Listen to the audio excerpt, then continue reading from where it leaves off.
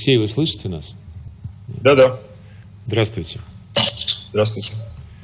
А, ну, мы, по-моему, все заработало у нас, да? У нас был какой-то тут период технических э, проблемок, они сейчас решены.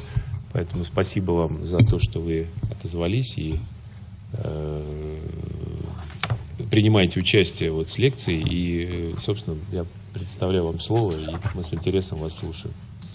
Спасибо. Я постараюсь активировать экран. Я надеюсь, что вы видите экраны, что все работает так, как оно должно работать. Все тогда. Запустить.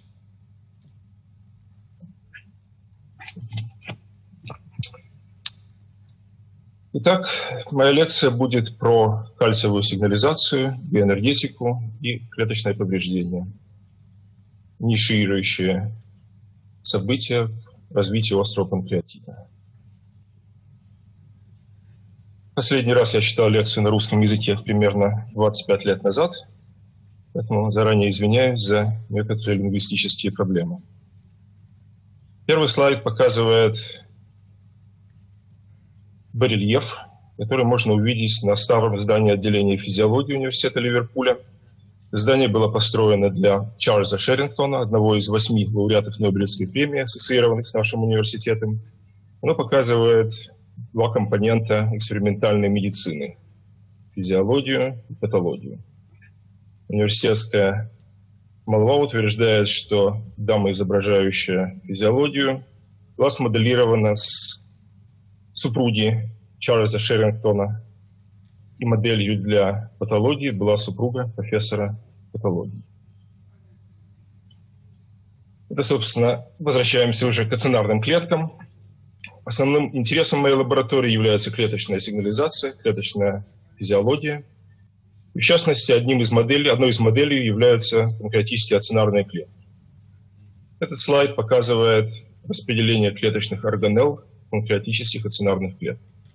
Собственно, клетки в проходящем свете, секреторные гранулы, гольчий аппарат, тесно прилегающий к секреторным гранулам, митохондрии, обволакивающие Гольчи, аппарат Гольчи базальной и латеральной части клетки, а также очень хорошо развитые элементы эндоплазматического ретикула. Основной механизм сигнализации, который мы исследуем, это кальциевая сигнализация. Это один из примеров таких кальциевых сигналов. Это локальные кальциевые сигналы, которые вызываются ацетилхолином. Вы можете заметить, что эти сигналы возникают в эпикальной части клетки, в районе секреторных гранул, развиваются в этой части клетки и затухают в этой части клетки, не распространяясь в базальную часть Эти сигналы ответственны за секрецию, за секрецию экзоцитозом, за секрецию предшественников пищеварительных ферментов. Эти локальные сигналы, как вы видите, также отвечают за секрецию жидкости. В данном случае этот локальный сигнал мы вызвали искусственно, используя освобождение кальция из фотоактивируемого предшественника. Эти кальциевые сигналы как вы видите, связаны с активацией хлорных каналов. Мы одновременно электрофизиологически меряем электрическую активность клетки. Кальциевые сигналы связаны с открытием хлорных каналов. Хлорное открытие хлорных каналов, естественно, необходимо для секреции, для секреции жидкости.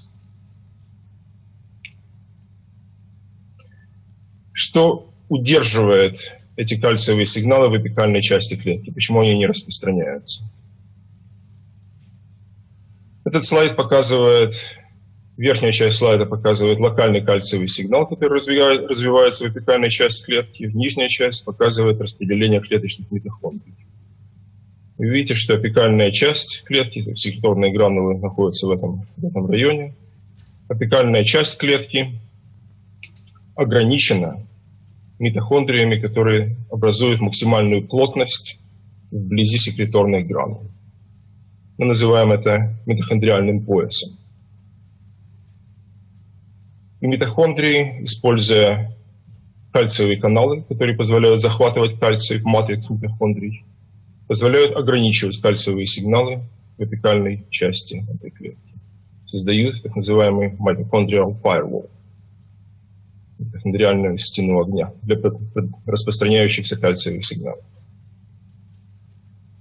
Что происходит при этом в митохондриях? Мы можем наблюдать за активностью цикла Крепса в митохондриях, используя автофлюоресценцию NADH. NADH является основным донором электронов, который производится в результате цикла Крепса, является донором электродов для электронного каскада, который функционирует на внутренней мембране митохондрий. Вы можете заметить, что распределение флуоресценции NADH очень сходно с распределением флуоресценции митохондриального кальциевого индикатора. В обоих случаях явно покрашена одна и та же органелла. Когда мы стимулируем клетки физиологической концентрации CCK, видите, что возникают осцилляции. Это осцилляции скорости цикла Крепса. Каждая, каждый пик этих осцилляций означает ускорение и замедление цикла Крепса. В основе каждого пика является кальциевый сигнал, потому что кальций, который входит в митохондриальный матрикс, активирует кальций-зависимые дегидрогеназы цикла Крепса и увеличивает скорость работы цикла Крепса, производства NADH. Таким образом, кальциевые сигналы, которые захватываются митохондриями, определяют, регулируют биоэнергетику этих органов. Мы можем мерить, что происходит, собственно, с клеточной АТФ. Для этого мы инфицируем клетку, используя вирусы, содержащие соответствующий вектор для люциферазы. Люцифераза экспрессируется в ацинарных клетках. Это калибровочный эксперимент. Вы видите, что когда мы увеличиваем концентрацию АТФ, клетки увеличивают биолюминесценцию. Когда мы уменьшаем концентрацию АТФ, видите, что клетки уменьшают биолюминесценцию. Таким образом, мы можем мерить АТФ в цитозоле клеток, мы также можем мерить АТФ в митохондриях. Это достаточно удивительный, на мой взгляд, слайд, который показывает, что когда мы стимулируем ацинарные клетки, концентрация АТФ в клетке не падает, может быть, даже немножко увеличивается. Это результат удивительный, потому что, когда мы стимулируем, клетка увеличивает потребление АТФ. Клетка секретирует, клетка секретирует экзоцитозом, клетка секретирует, открывает различные ионные каналы, активируется натрий-калиевая, кальциевая АТФазы. Расход АТФ увеличивается примерно в три раза, тем не менее концентрация цитозольной АТФ, если и меняется, то слегка увеличивается. Это показывает эффективность stimulus metabolism coupling, связи между сигналом и метаболизмом, который медиируется кальциевым сигналом. То есть механизм этого очень эффективного удержания и даже увеличения концентрации АТФ, работающей ацинарной клетки, связан с входом кальция в митохондрии, активацией дегидрогеназы цикла Крепса и активацией биоэнергетики этих клеток. Кальциевые сигналы бывают локальными, кальциевые сигналы бывают глобальными. В данном случае более высокая концентрация ацетилхолина приводит к кальциевому сигналу, который возникает в эпикальной части клетки, но потом распространяется по всей цитоплазме клетки. Такие кальциевые сигналы можно обнаружить даже при физиологическом, даже при физиологических уровнях стимуляции. Большинство сигналов будет локальны, но время от времени будет возникать транзиентный глобальный кальциевый сигнал. Это, по-видимому, нужно для синхронизации процессов секреции с другими процессами клетки, вовлекающие, например, кальциевая, кальциевая сигнализация в клеточном ядре.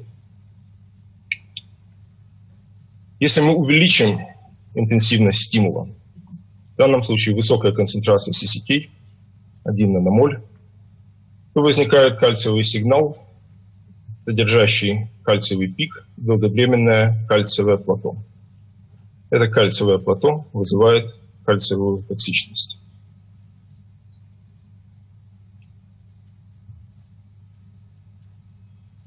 Этот короткий фильм показывает развитие кальциевой токсичности, эффект, эффект долгодлящегося кальциевого сигнала на митохондрии. Видите, что распределение этих органелл меняется в ацинарной клетке. Видите, что флуоресценция этих органелл меняется. Я собираю этот фильм еще, покажу этот фильм еще раз. Это момент стимуляции, перемещения митохондрий и потеря флуоресценции.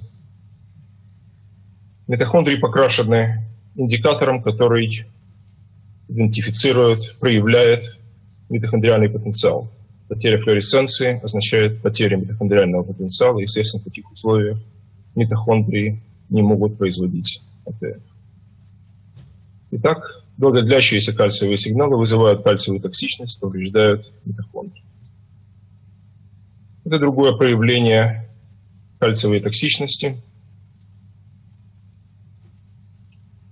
Формирование эндоцитозных вакуолей в ацинарной клетке. В данном случае фильм показывает кластер из трех ацинарных клеток, которые погружены в внеклеточную среду, содержащую флуоресцентный индикатор.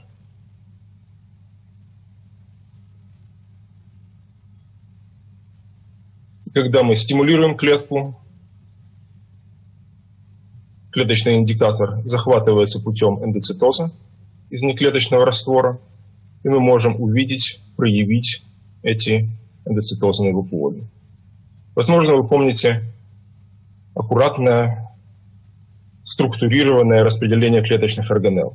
Секреторные гранулы, после этого аппарат Гольчи, митохондрии, элементы эндоплазматического ретикула эндоцитозные вакуоли, которые могут быть до 10 микрометров в диаметре, возникают в апикальной части клетки, расшвыривают секреторные гранулы, проходят через митохондриальный барьер и каким-то образом продираются через очень плотно упакованные слои эндоплазматического ретикулума, в некоторых случаях добираясь до базальной части клетки. Удивительное событие. Эндоцитозные вакуоли возникают в результате compound exocytosis, по-видимому, последовательного эндоцитоза, который используется в этом виде клеток.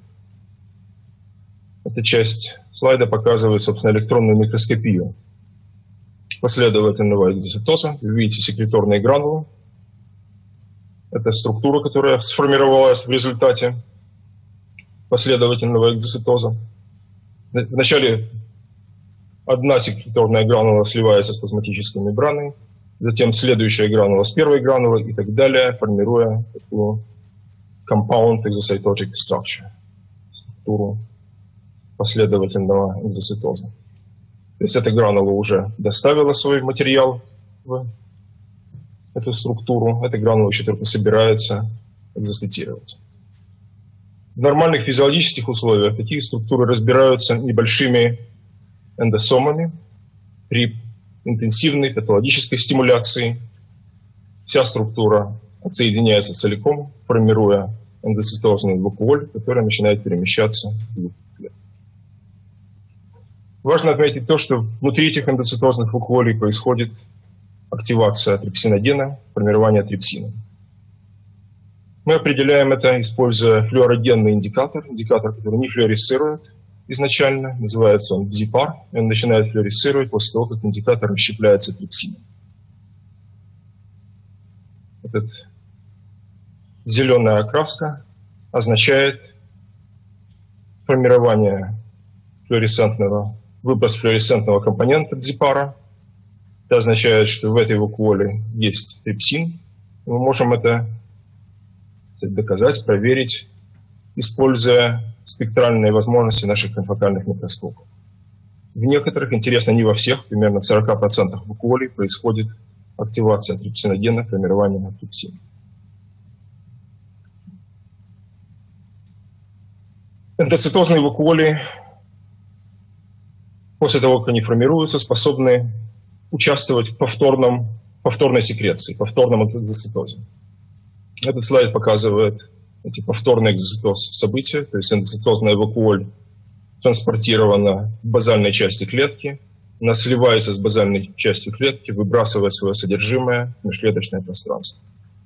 Это означает, что трипсин, который сформировался в эндоцитозной вакуоле, может быть выброшен в межклеточное пространство и действовать на ближайшее окружение клетки. Мы также обнаружили, что эндоцитозные вакуоли могут разрываться. Кстати сказать, для того, чтобы сформировать такую эндоцитозную вакуоль, нужно слить примерно 400 секреторных гранул. То есть это огромная структура. Эти структуры могут разрываться внутри цитоплазмы. Разрыв сопровождается выбросом флуоресцентного материала из вакуоли, цитоплазму клетки. Мы видим, что флуоресценция собственного вакуоли уменьшается, то время как флуоресценция цитозоля увеличивается. Это означает, что трипсин, который сформировался в аноцитозном вакуоле, может быть выброшен внутрь клеточной цитоплазмы, соответственно, повреждать белки, находящиеся внутри клетки.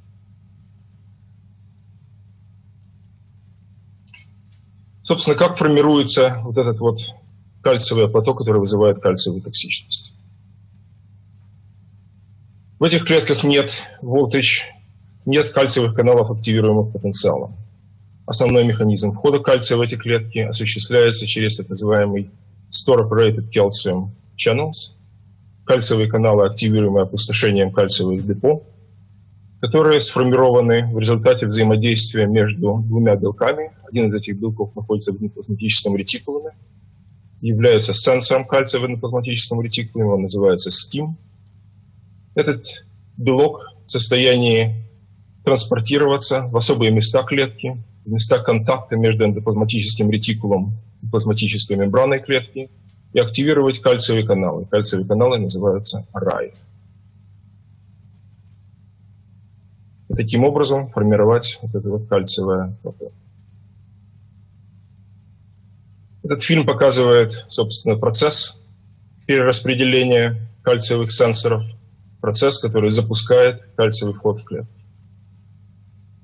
Каждая маленькая звездочка на этом клеточном звездном небе показывает место контакта между эндоплазматическим ретикулом и плазмолемой клетки. Место, в котором распространяется, которое передвигается стим, место, в котором, в котором активируется, в котором активируется кальциевый вход в клетку. В сотрудничестве с учеными, которые, собственно, открыли этот механизм, Стивеном Феске, Анджаной Рау, мы обнаружили, что STIM-1 и RAI-1 экспрессированы в эцинарных клетках. И в сотрудничестве с Smith Kline, фармацевтической компанией, мы протестировали ингибитор, селективный ингибитор STIM-RAI каналов GSK7975A на кальциевый вход, вот это вот кальциевое плато в ацинарных клетках. Видите, что этот ингибитор достаточно эффективно подавляет кальциевое плато. Говорят англичане, как горячий нож в масло. Добавление ингибитора убирает долгодлящийся кальциевый сигнал и вроде бы по нашей гипотезе должно подавить кальциевую токсичность. Что происходит при этом делом, при этом с вакуализацией клетки? Количество вакуолей уменьшается примерно на 60% что означает, что один из основных признаков повреждения ацинарной клетки, вакуализация, эффективно подавляется этим ингибитором.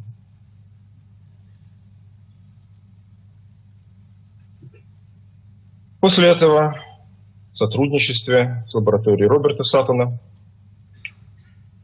эффективность этого вещества, эффективность ингибитора RAI каналов была проверена в моделях экспериментального панкреатита. То есть модели экспериментального панкреатита были вызваны в мышах. Разные, разные виды. То есть хирургическая модель с инъекцией TLCS, традиционная сирулин модул, метаболизма алкоголя, метаболитов алкоголя. Во всех этих случаях использование ингибиторов кальциевых каналов, рай кальциевых каналов, снижает параметры, определяющие интенсивность экспериментального панкреатита. То есть это сказать, измерение амилазы, измерение активности трипсина. И, кстати, аналогичные результаты были получены по гистологическим исследованиям панкреатической железы в условиях экспериментального острого панкреатита. Как мне кажется, что мои 20 минут истекли. Это выводы моего доклада.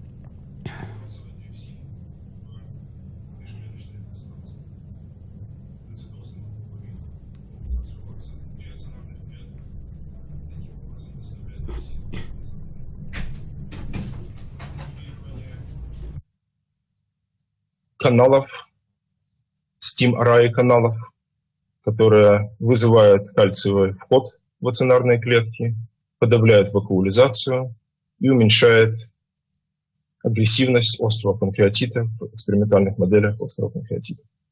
Благодарю за внимание. Важно отметить также коллег, которые участвовали в этой работе.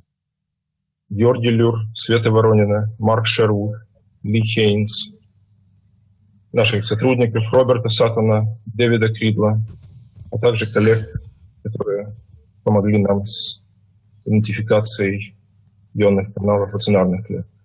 Джона Рау и Стивен Фест.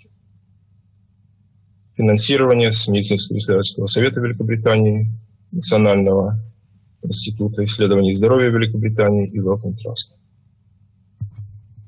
Большое спасибо. Буду рад ответить на вопрос. Здесь спасибо вам огромное э, за такую интересную лекцию. Э, пожалуйста, у нас есть некоторое время на то, чтобы задать вопросы. Есть какие-то вопросы в аудитории?